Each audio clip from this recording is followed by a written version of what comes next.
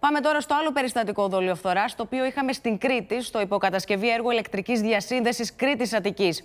Οι δράστες φαίνεται πως εισέβαλαν στο εργοτάξιο και έκοψαν σε 33 σημεία τις υδραυλικές και ηλεκτρολογικές εγκαταστάσεις της Νταλίκας που μεταφέρει το καλώδιο.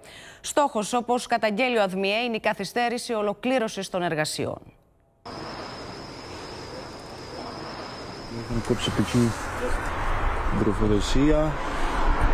εδώ αυτό. Καλώδια κομμένα, νερά που στάζουν και ένα μηχάνημα κατεστραμμένο. Ο ΑΔΜΙΕ καταγγέλει δολιοφθορά στο υποκατασκευή έργο της ηλεκτρικής διασύνδεσης Αττικής Κρήτης με στόχο τη διακοπή των εργασιών υλοποίησής του.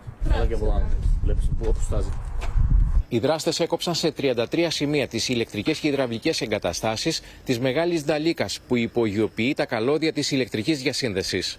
Η δολοφθορά έγινε στο ύψος περίπου του ΒΟΑΚ, στην περιοχή του Φόδελε και αφορά σε μηχάνημα του έργου που έλκει το καλώδιο. Το έργο της ηλεκτρικής διασύνδεσης Κρήτης Αττικής είναι ένα από τα μεγαλύτερα αναπτυξιακά έργα που εκτελούνται σε επίπεδο χώρας. Σύμφωνα με τον ΑΔΜΙΕ, η επίθεση δεν είχε στόχο την κλοπή υλικών, αλλά τη διακοπή εργασιών για την ηλεκτρική διασύνδεση. Δεν πήγε κάποιος να ανοίξει ένα ντεπόζιτο για να κλέψει πετρέλαιο. Συμβάν που παρατηρείται συχνά προκάλεσε βλάβη σε εξειδικευμένο μηχάνημα πάνω στο οποίο είναι τοποθετημένο το προσυπογειοποίηση καλώδιο, που σημαίνει ότι στόχος ήταν να διακόψουν τις εργασίες. Αυτό που εξετάζεται τώρα είναι το μέγεθος της καθυστέρησης που θα επιφέρει αυτή η καταστροφή με το Υπουργείο Ενέργειας να αναζητά λύσεις. Μόλις ολοκληρωθεί η προανάκριση από την αστυνομία, θα ξεκινήσουν και οι εργασίες για την αποκατάσταση των ζημιών.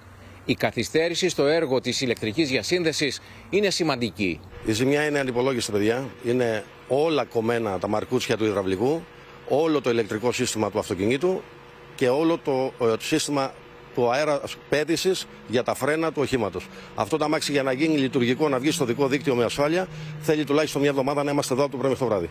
Ήδη η καθυστέρηση στη διασύνδεση Αττικής Κρήτης και η απόφαση της ΔΕΗ να αποσύρει από το νησί πέντε πετρελαϊκές μονάδες προκάλεσαν έλλειμμα 190 ΜΒ για τα καλοκαίρια 2024 και 2025. Στην Κρήτη και το Χάρη Λεοντάκη. Χάρη, βρίσκουμε στο εργοτάξιο. Να δούμε λίγο πού στρέφονται οι έρευνες των αρχών, διότι το εργοτάξιο βρίσκεται κοντά στον αυτοκινητόδρομο. Εκεί πέρα υπάρχουν κάμερες ασφαλείας.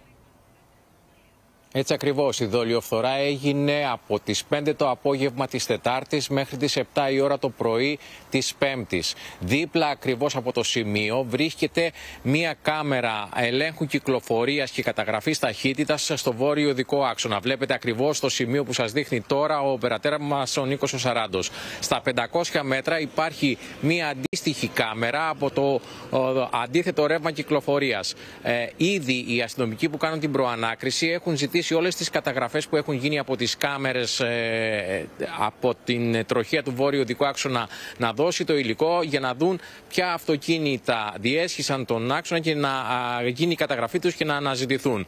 Από εκεί και πέρα ε, η συγκεκριμένη νταλίκα είναι η νταλίκα που μεταφέρει το καλώδιο που βλέπετε την υπογειοποίηση που γίνεται. Αυτή η νταλίκα έπρεπε να φύγει από τη στιγμή που ήρθαν τα δύο τμήματα του καλωδίου εδώ, να φύγει, να διανύσει μια απόσταση 200 200-300 μέτρων να ξεκινήσει η υπογειοποίηση ενός τμήματος. Αυτό γίνεται σταδιακά, γίνεται εβδομάδα με τη βδομάδα, μέρα με τη μέρα.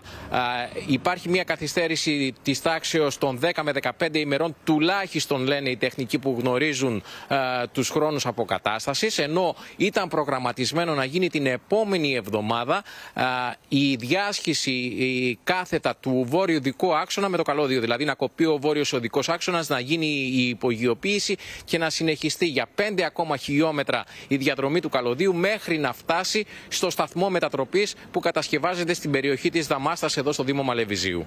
Σε ευχαριστούμε πολύ Χάρη.